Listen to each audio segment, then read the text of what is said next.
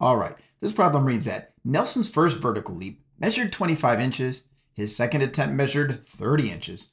How many times greater was his second attempt? All right, so the first time Nelson had his vertical leap measured, he jumped 25 inches. And on the next attempt, he jumped 30 inches. Now, a common mistake here is that a lot of students would answer 5, but that would not be the answer because if he was able to jump 5 times greater than his first jump, we would have to multiply 25 by 5, which is 125, which obviously is a lot bigger than 30 inches. All right, so here is one way we can approach this. Now, when asked how many times greater, we are literally asking, what would we multiply 25 by to get 30? And obviously it can't be 1 because that would be exactly 25. And it can't be 2 because that would be 50.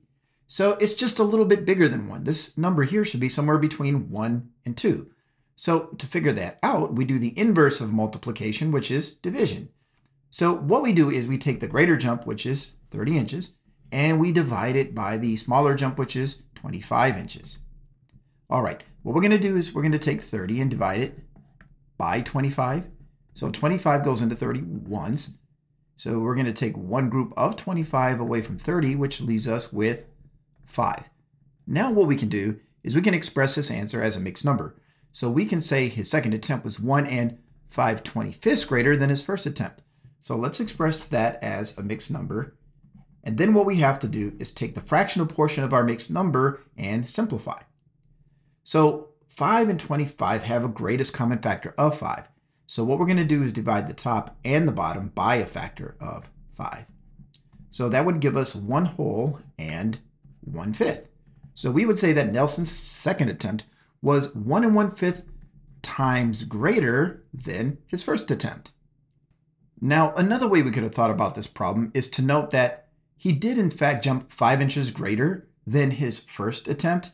So what we could do then is we could just take 5 and compare it to the original jump of 25 and reduce that, which is equal to 1 fifth.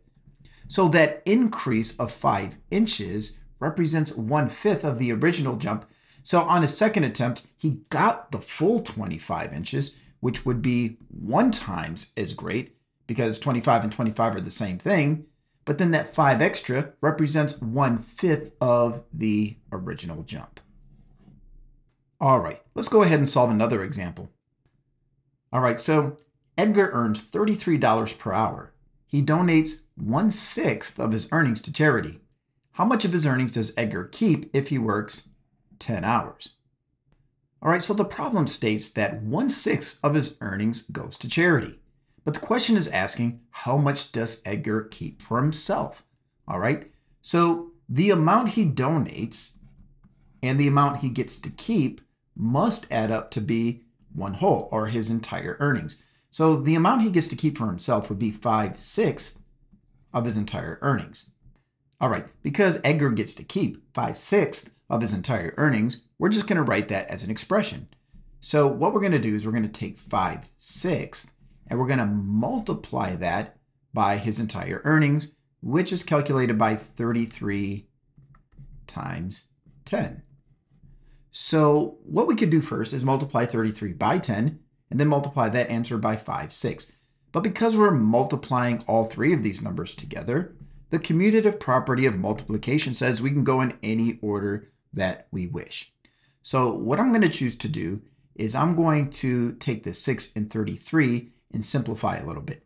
I know that 3 is a common factor of 6 and 33, so 3 can be divided into 6 twice, and 3 is divided into 33 11 times. Now, 2 and 10 share a common factor of 2. 2 goes into itself once, and 2 goes into 10 five times. Now, if you take a look, all of our denominators are 1s. That means our denominator is going to have a product of 1. Now at the top here, all we have to do is multiply all three of these numbers together. So I'm going to start with 5 times 5, which is 25, and 25 times 11 is 275.